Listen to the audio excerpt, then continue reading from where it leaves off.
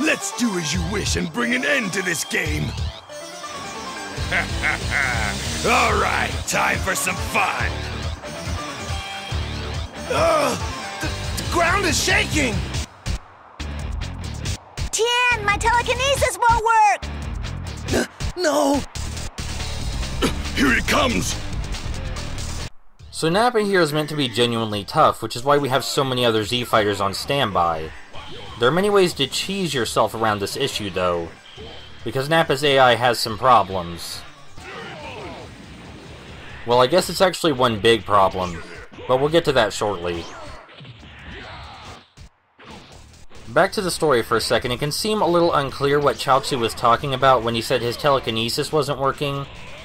He was trying to attack Nappa's body with his telekinesis, but Nappa was just too strong for it. And telekinesis was kind of a super huge deal back in the original Dragon Ball, so again, it not working was, uh, was also a bit of a surprise. Here's the issue with Nappa's AI.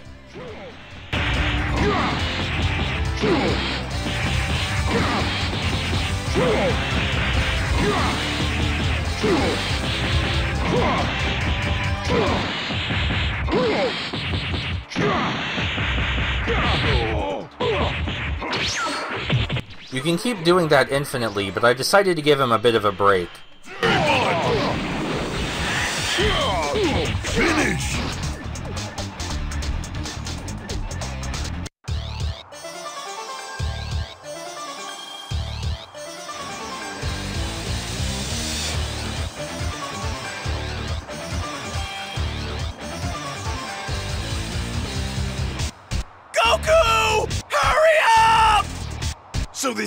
Goku is actually Kakarot? Oh, this should be interesting.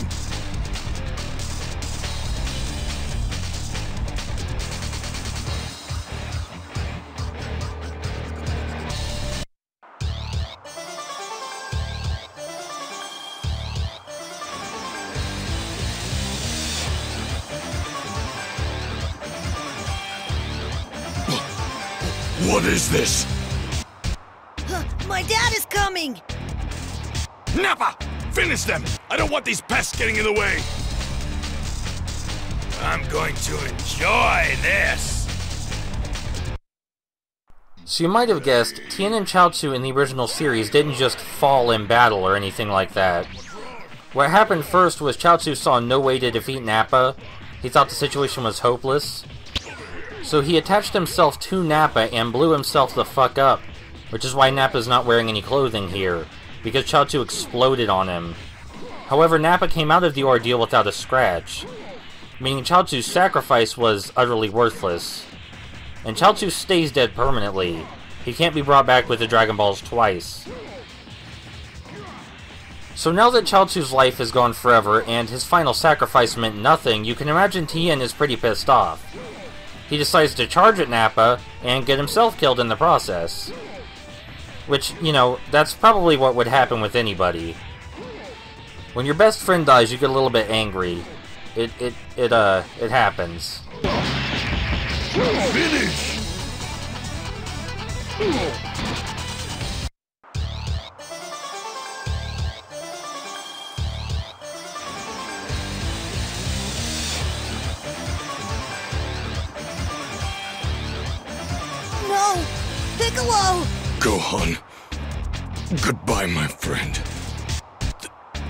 Thank you. Full. Well, that's one down.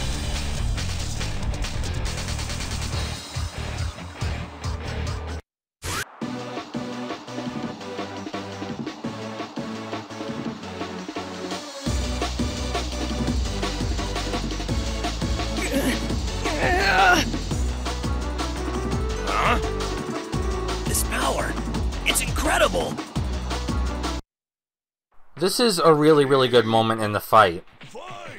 Because Gohan gets super pissed, just like he did back when Raditz was attacking Goku. Way back then, Gohan was able to leap out of the space pod without any training and headbutt Raditz hard enough to damage him. Without any training, mind you. So at this moment, you were meant to be thinking, holy shit, Gohan's angry. Nappa's gonna get fucking wrecked. And then Gohan gets his face beaten in. It's another really good fake out, and it establishes exactly how hopeless this situation is. There are tons of times in this fight with Nappa where the characters pull out some new trick, and you're like, oh, this one's gonna work, it's gonna work this time, and it fucking doesn't. They all get dead. Well, not all of them, but most of them get dead. Because right now, this is just it. Either Goku gets here soon or they're all gone. I mean, never mind that in the video game, Nappa is stupid as hell and really easy to beat. But in the story, they're all gonna die. Maybe if, in the original series, Nappa charged head headfirst into Kamehamehas over and over, the fight would go a lot differently. Maybe if Krillin hit him with like 30 Kamehamehas in a row, he would actually die.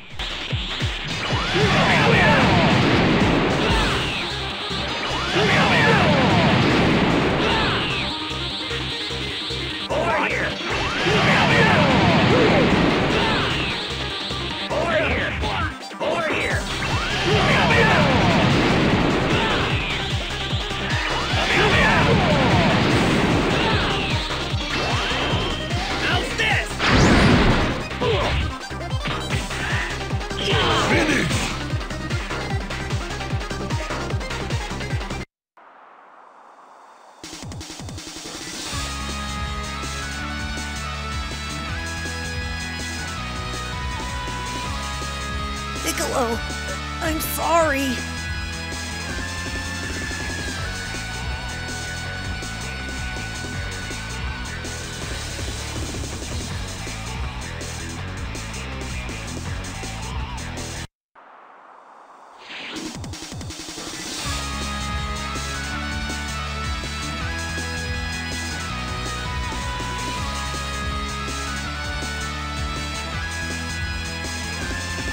So you finally showed up.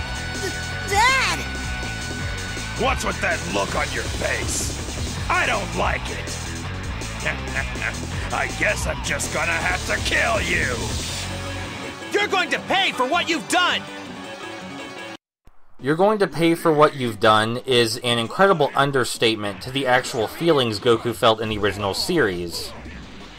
And Goku getting pissed is really bad. He's a pretty easygoing guy, pretty merciful guy. But he just fucking wrecked Nappa. Didn't kill him though. There's a bit more to talk about with what happened in the fight before now, though. For example, that brief scene we saw with Piccolo and Gohan. In the original scene, I believe Piccolo explicitly thanked Gohan for being the only one to treat him like a friend, which is a lot more emotional.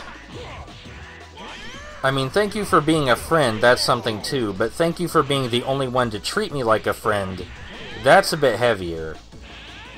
Hopefully you've noticed that I'm absolutely just fucking around with Nappa right now, and that's so I can show off Goku's ultimate attack, the Spirit Bomb.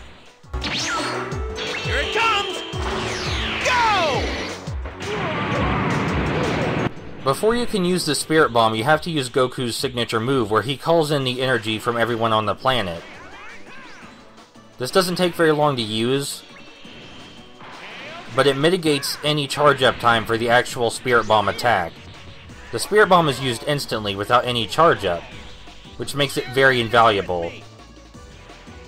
It's a really, really good way to fake out your opponents, both AI and people, because if you're fighting a normal person, they might just expect you to be teleporting behind them, when in reality you're hurling a Spirit Bomb down on their ass. You can actually see the Spirit Bomb in the sky right over there. It will stay in the sky until we actually use the attack. I don't believe it has a time limit, I think it just stays there. But yeah, I suppose it's kind of vanilla, but the Kamehameha and Spirit Bomb, I love those. Those are my favorite moves. Nappa's going to use one of his special techniques here, but he doesn't seem to do that very often in the game for some reason. He seems to stick mostly to melee combat. Like he absolutely hates charging his energy for some reason.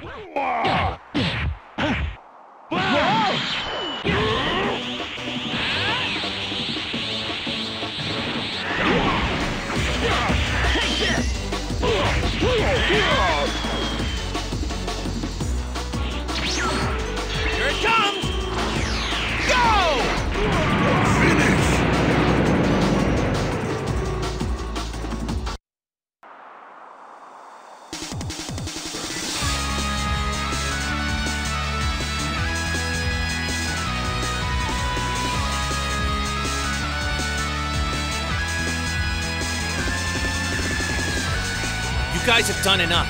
Just leave it to me now. Go back to Master Roshi's house. So, Kakarot, do you intend to fight? Yes, but not here. Makes no difference to me.